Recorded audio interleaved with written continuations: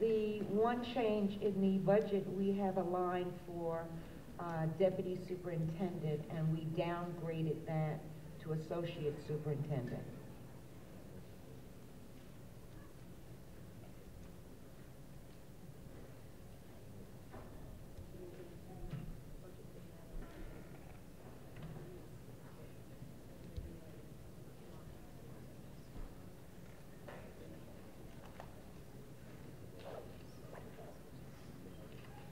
And the, the difference in, in salaries was, Um, there's a savings, Excuse me, there's a savings of fifteen thousand.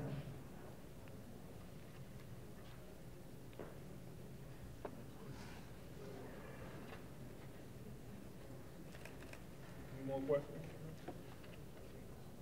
I'm still looking